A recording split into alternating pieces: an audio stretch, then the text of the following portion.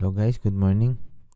Um, for today, our topic is mga dokumentong kailangan pag magbabakasyon sa Pilipinas. So from Saudi to Riyadh ang ating uh, destination na mga dokumento na dapat dala mo pag magbakasyon ka sa Pinas. Bakasyon lang to, bakasyon. Una, syempre, flight ticket, round trip. Date. Tapos yung electronic exit 3 entry visa. Usually 90 days. And then dala mo yung passport mo and extra na photocopy sa passport mo. Uh, actually lahat pala ay kailangan na, na may extra ka na photocopy. And, and then ikama. Since wala kami ikama, kahit photocopy lang ng ikama mo. And then, sa pagbalik mo, kailangan ng POA ng eh, mga requirements na to. Copy of your employment contract. So, dapat meron ka nito. And may photocopy ka rin nito. And then, employment salary certificate. And then, meron ka dapat ding photocopy nito. For, uh, and then, payslip kailangan rin mayroon kang photocopy ng iyong payslip. And then huwag kalimutan na magbitbit ka ng extra na ballpen, extra na mask. So sa face mask naman, don't worry kasi ang airline, Philippine Airline, nag-provide naman ng uh, face shield. And then huwag kalimutan ng hand sanitizer, about naman pala sa adapter kailangan may kung may, may extra ka o kung kalimutan. Kasi pagka nandito ka sa loob ng ng hotel and then sa room mo sa, ang charger mo is tatlo hindi ka maka-charge. Bawal para mang lumabas bawal magpabili bawal makipaghalubilo bawal pumunta sa kabilang kwarto para makipag-charge. And then may penalty 500 ang bayad kada magbukas ng pintuan sa room mo. So, nasa aeroplano na tayo. And then, sa loob ng aeroplano may binibigay na tatlong papel. Preparation para sa paglanding sa uh, NAIA, Terminal 2 or Terminal 1. Ito yung arrival card. Para ito sa Bureau of Immigration. Ipilapan mo to lahat ng mga blank dyan para mabilis na. And then Bureau of Custom pagdating mo sa mga bagahe ito naman ang pipilapan mo Bureau of Custom anong mga laman ng iyong uh, maleta or yung mga cargo. And then ito sa DOH sa health card. Ito namang yellow ang health card declaration ng DOH may papasok bago maglalabas uh, lahat. May mag-check ng temperature isa-isa sa aeroplano bago tayo makalabas. So, ang dinner dumating na after uh, mamigay ng mga uh, papel. Kailangan na pilapan na yon And then, malapit na kami sa airport. Ito yung mga unang hinahanap sa bago lumabas. Unang pumapasok ang mga DOH na mga personnel hinahanap yung uh, yellow card form. Kailangan naka-fill up. Kailangan naka during this time unang papasok ang mga DOH personnel para kukunin yung uh, yellow card. I-evaluate yung yellow card kung uh, tama ba yung mga pinil up mo, yung address mo, and then yung uh, mga required doon. Kailangan naka-fill up And then, isa-isa nilang chine-check yung mga temperature ng mga tao sa loob. After man makompleto yung pag-check ng mga temperature sa loob ng uh, aeroplano, pwede nang lumabas. Dito, ina-assign yung yung mga nasa unang unahan na una silang lumabas. So, this one, this time, batch by batch. So, by, row by row, batch by batch. So, during this time, mag-aantay kami ng uh, dahil sa nasa hulihan kami, So, huling batch kami. So, ang mga first batch na nasa ibang hotel. Hanggang sa second batch, ibang hotel. And the third batch, ibang hotel din. So, nag-aantay kami sa aming turn kasi dadaan pa kami sa immigration. I-stampan pa yung aming passport. And then, pagkatapos, kunin namin yung aming mga luggage. And then, antay naman kami doon. Magpipila na naman kami doon. So, dito sa ito na yung time na nakuha na namin ang aming luggage. So, nag-assist na sa amin yung mga Coast Guard. Ito yung uh, kung saan kami i-assign na i-quarantine na hotel. So, during this time, may libre naman na, na food para sa mga OFW. So, ina-arrange nila kami kasi pinibilang kung ilan yung uh, tao na ipapasok doon sa hotel at availability ng hotel. Kasi punuan na ang mga hotel. And then, ito naman ang susunod na batch. Ibang airline naman to ang parating. So, ang aming assign as per uh, Coast Guard and uh, OWA and uh, POEA, Manila Hotel daw ang aming uh, destination ngayon. So, ang aming ang aming uh, bus ay nakaantay na sa labas. And then, bawal ang uh, pumunta sa bang ATM sa bank sa bangko din sa mga uh, branches dito sa airport. Bawal ang magpapalit ng pera sa uh, money changer. Bawal ang kumain or mag bumili ng pagkain sa uh, duty free. Lahat diretso direct sa bus kasi may nakabantay.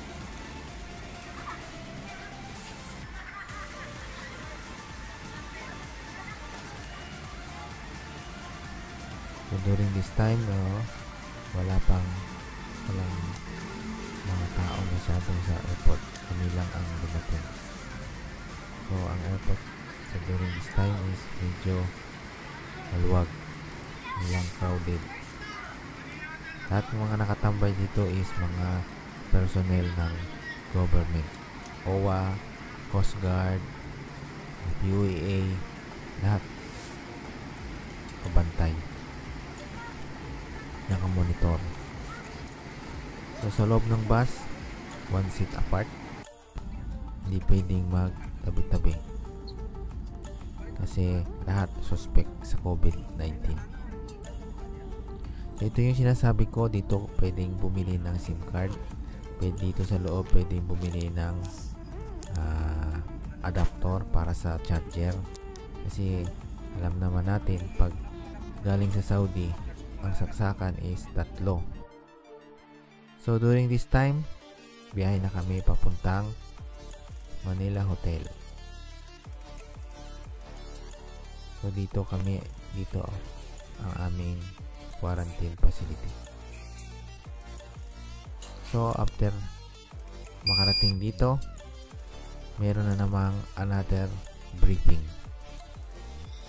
And this time, ang Manila Hotel na ang magbibriefing sa amin. With assistance of the OWA, UAA, and Coast Guard. Yung inyong key card sa kwarto, ito po yung ibibigay sa inyo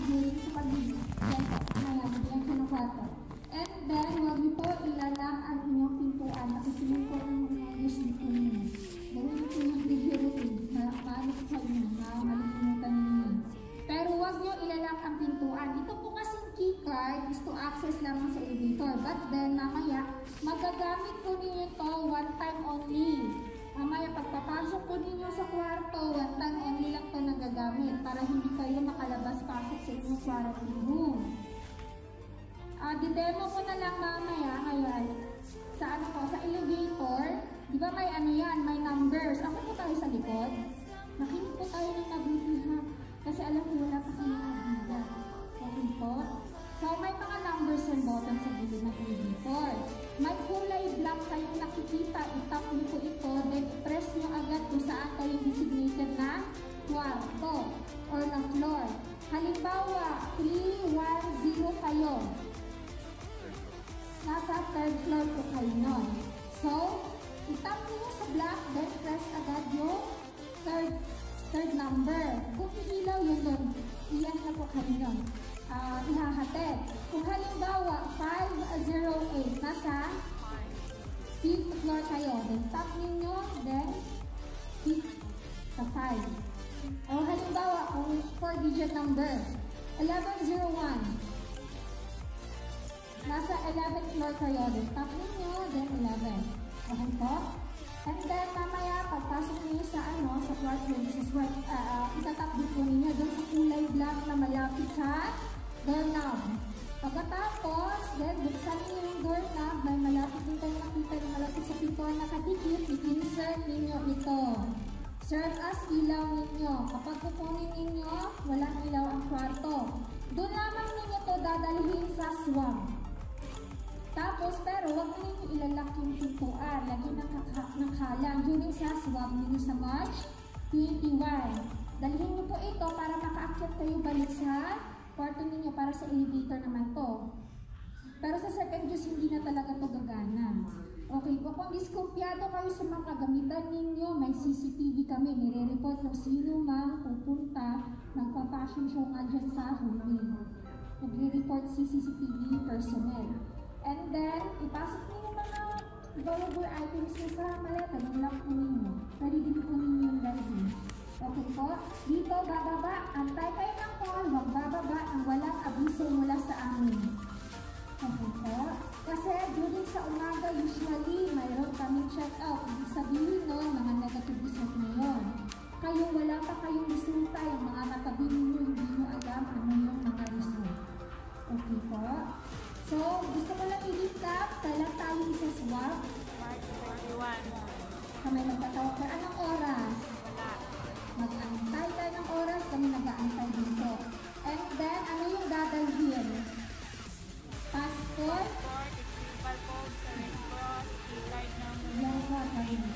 Face shield.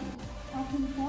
Required po dito, hindi kayo pababa ng shield. Kahit sa airport, dapat may shield yun.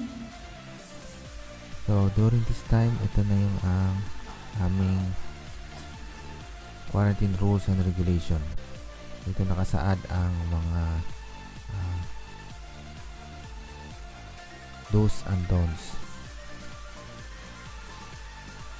sa hotel. Yung mga penalty and mga ah, instruction. So, ito yung loob ng aking room sa Manila Hotel. So, ah, malaki siya. And then, ah, king size ang bed. And then, may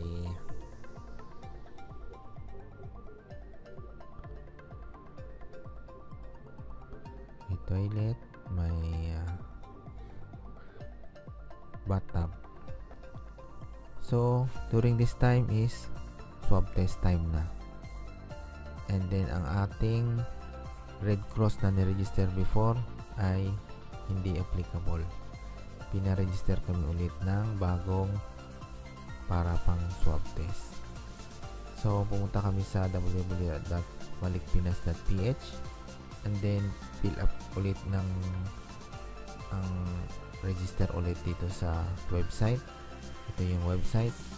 And then after mo ma-complete ito and then ma-successful ang pag-registration now makakuha ka na ng bagong QR code. And that is the new QR code na ipipresent mo sa Coast Guard before ka mag-swap so after ma-register makareceive ka nitong i-set QR code so ito na yung pila papunta ng mag swab test. So, may mga Coast Guard na nakaalalay at mga medical personnel na mag-swab. So, during this time, uh, gabi na. After mo complete ang iyong uh, swab test, saglit lang naman to, balik ka na og ulit sa iyong kwarto. Bawal na ulit lumabas until 48 hours. Antayin mo yung result, marireceive mo via email and may tawag din sila sa telephone mo kung negative ka ba or positive. Okay? Don't forget to like, subscribe, hit the bell button. And thank you for watching. See you in my next video. Bye-bye.